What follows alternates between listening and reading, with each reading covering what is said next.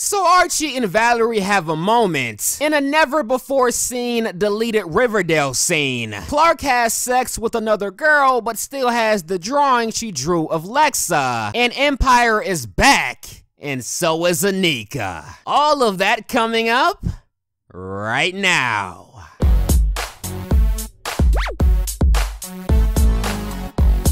I told you Archie and Valerie had a moment that made you think completely differently of their current relationship? A moment in which you have never seen before. What if I told you they had a moment that was so powerful that not only would you think differently of their current relationship, but you may actually ship them? What if I told you that? Would you believe me? Well, I hope not, because I'm a goddamn lie. Well, I'm not completely lying. They do have a deleted scene that you guys have never seen before. That much is completely true. The hype surrounding the scene was the complete lie though. But come on. I had to get you guys pumped up and excited for this video. That's my job as a YouTube creator, to entertain you guys and get you excited by any means possible, even if that means lying through my damn teeth. Now, does that make me a bad person?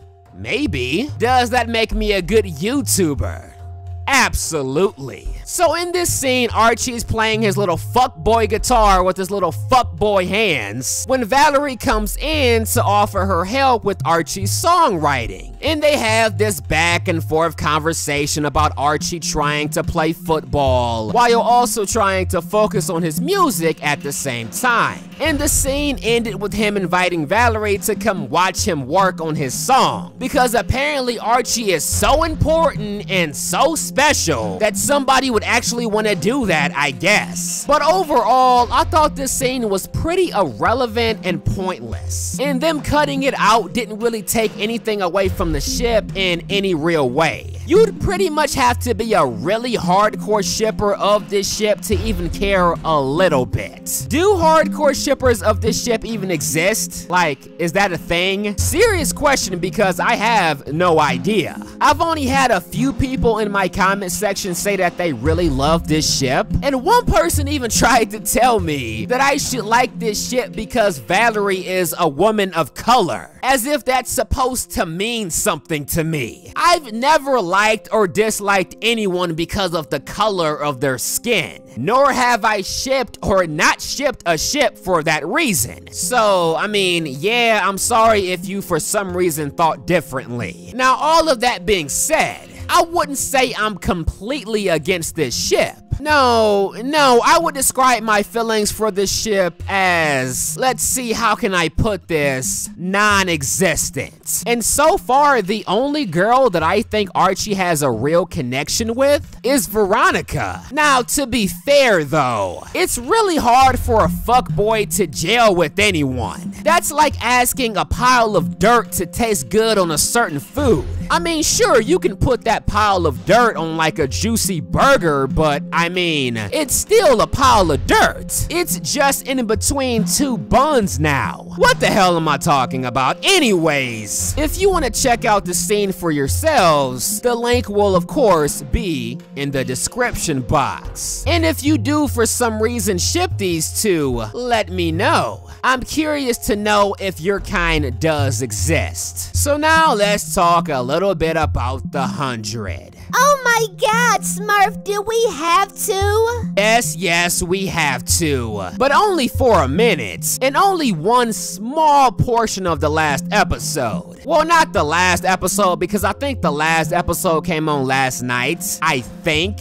I don't even remember which day of the week that this whack-ass show even comes on anymore. Who cares? The only reason I'm even talking about this is because some of my subscribers asked me to. And more importantly, there was a Clexa moment. Yes, they are still having mentions of Clexa, even this deep into season 4. I guess this is the part where I show my gratitude. Right there, there you go, buddy. So apparently Clarke just gets done having sex with some girl. I forget her name. I like to call her Not Lexa. So after she gets done having sex with Not Lexa, the camera pans in on the drawing that Clarke drew of Lexa. Lexa. I guess in a way to show us that Clarke still cares about Lexa and isn't over her yet. Yeah, well, I'm already over this moment. I can't speak for all Clexa fans, but this pathetic attempt at pandering is not working at all on me. And not only is it not working on me, but quite frankly,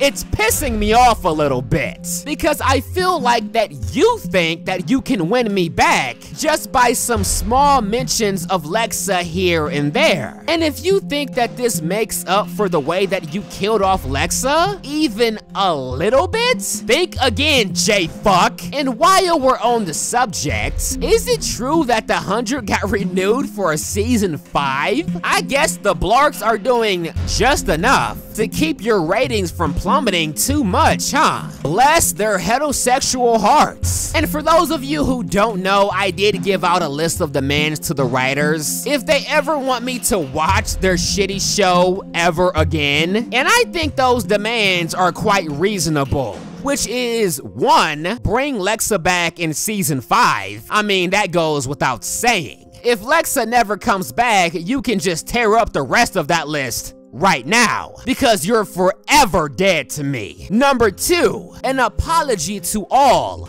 of Clexa Nation for your disgusting and unforgettable acts of having the baddest, toughest, most legendary warrior of all time die by a stray bullet like some peasant on the streets that isn't at all important to the show. And three, I want Bellamy's head on the end of a sword. Let's call it an eye for an eye. Only then will I ever consider watching The Hundred again. And if not, I mean, hey, no sweat off my back. I've already moved on from the show, and quite frankly, I haven't had the urge to watch it since season 3 ended, so whatever. So Empire is back and better than ever. Now, why do I say that? Because the baddest bitch is back on her throne. That's right, ladies and gents. Anika is once again the head of A&R right where she belongs. And how did Cookie take the news? To all of the valuable items of Lucius. And I know some of you may applaud this behavior, but not me.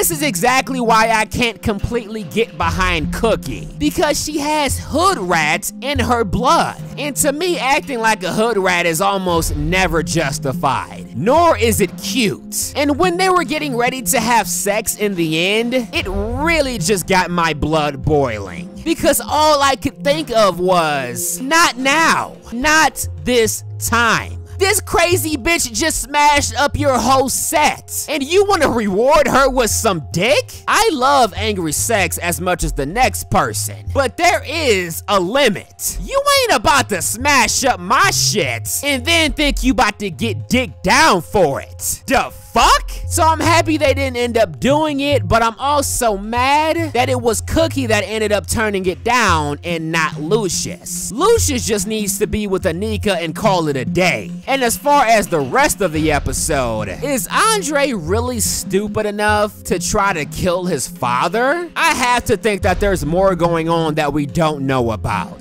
God, I hope so. And is Jamal really off the pills for good? I have some real doubts about that. And Jamal is one of my favorite characters, so I really hope he doesn't fall off the deep end because that would just really suck. But let me know what you guys think about all of this in the comment section below and let me know what shows you guys want me to cover next. But I'm done talking. Uh, if you guys enjoyed this video,